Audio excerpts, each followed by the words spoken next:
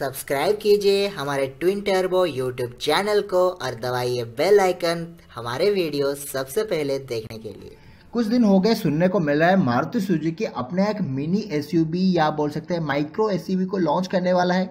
ये एसयूवी के डिज़ाइन में ही आएगा और ये छोटे सी गाड़ी होगा हैशबैग से थोड़ा बड़ा दिखने में होगा, लेकिन ये एसयूवी ही हम बोल सकते हैं। तो चलिए जानते हैं मारुति सुजुकी, ये कौन सी गाड़ी है, क्या है, कैसा है? हालाँकि मारुति सुजुकी ऑफिशियली तो कुछ लीक्स मिल चुके हैं ऑफिशियली नहीं बोल सकते। हालाँकि ये, यही कंफर्मेशन मिल चुका है गाड़ी कुछ ही दिनों के अंदर, यानी कि इसी महीने ही लॉन्च होने वाला है और गाड़ी की प्राइस रेंज की लिक्स भी आ चुके हैं फीचर्स के लिक्स कुछ लुक्स के लिक्स भी आ चुके हैं। तो चलिए जानते हैं कैसे क्या है मारुति सुजुकी नया वाला मिनी एस नमस्कार, मैं हूँ रश्मिकांत, आप लोग देख रहे हैं ट्विटर वीडियो चैनल तो चलिए।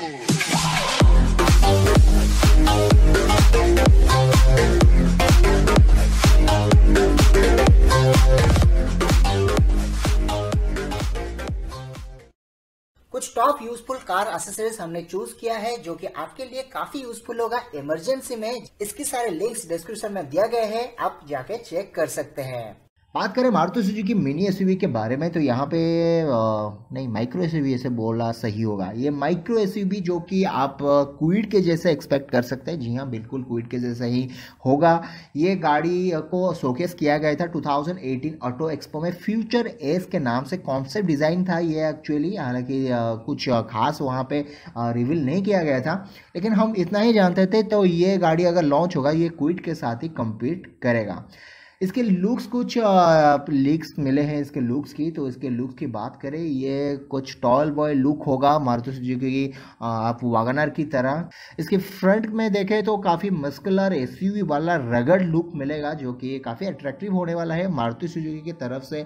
ये एक पहला ट्राई है, जो कि एक बजट रेंज में एक अल्टो के जैसा एक एस लुक वाला गाड़ी, जो कि काफ़ी अच्छा होने वाला है विलेज एरिया के लिए रूरल एरिया के लिए रफ रोड के लिए अच्छा ग्राउंड क्लियरेंस अच्छा रगड़ लुक वाला गाड़ी, और ट्रेंडिंग में तो यही चल रहा है। उसके साथ साथ देखा जाए तो यहाँ पर फ्रंट में आपको हेलोजिन हेडलैम्प भी मिलने वाला है। उसके साथ साथ इसके फ्रंट लुक महिंद्रा की तरह लग रहा है। हालाँकि आपको क्या लग रहा है प्लीज़ मुझे कमेंट सेक्शन में बताइएगा।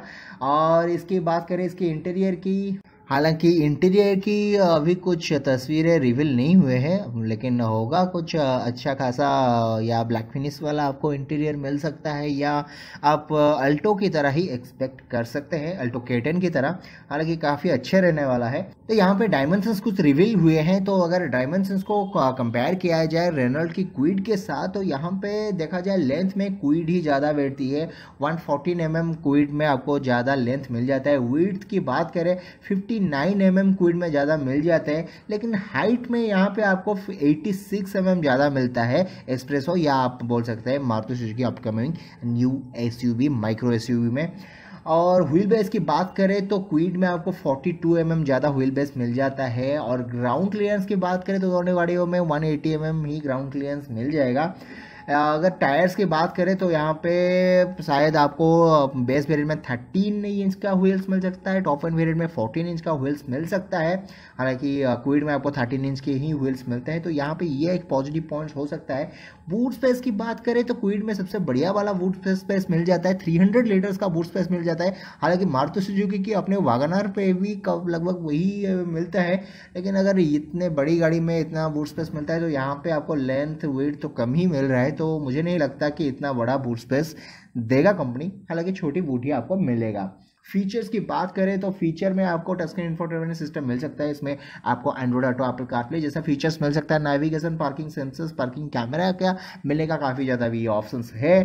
सेफ्टी की बात करें, आपको single air bag ABS EBD standard में मिल सकता है। और ऑप्शनल जैसे कि आपको अल्टो पे मिलता है, वो उसी तरह आप ऑप्शनल टू एयरबैग का ऑप्शन आपको मिल सकता है, या टॉप एंड वेरिएंट में आपको टू एयरबैग मिल जाएगा। इंजन की बात करें बी एस सिक्स वाला इंजन यहाँ पे आपको मिल जाएगा वन लीटर वही के सीरीज़ वाला पेट्रोल इंजन, जो कि आपको वो अल्टो पे मिल जाता है, अल्टो के टेन पे तो वही इंजन यहाँ पे आपको मिल जाएगा। और ये आपको 67 सेवन बी के साथ 90 न्यूटन मीटर का टॉर्क निकाल के दे देगा। अगर इसकी कंपेयर किया जाए क्विड के वन लीटर इंजन के साथ तो काफ़ी अच्छी ही होगी। क्योंकि दोनों की पावर काफ़ी सिमिलर है और दोनों काफ़ी अच्छी है और मारुति सुजुकी इंजन तो काफ़ी ज़्यादा पॉपुलर है। रिलायबिलिटी के मामले में भी काफ़ी ज़्यादा अच्छी पाई जाती है। दोनों में आपको मैनुअल ट्रांसमिशन और ऑटोमेटिक का ऑप्शन भी मिल जाएगा। माइलेज की बात करें तो यहाँ पे आपको ट्वेंटी थ्री से ट्वेंटी फोर के एम का माइलेज क्लेम किया जा सकता है, जो कि काफ़ी अच्छी हो गई। जैसे कि अल्टो पे आपको मिल जाता है क्विड पे भी सिमिलर कुछ आपको माइलेज मिल जाता है।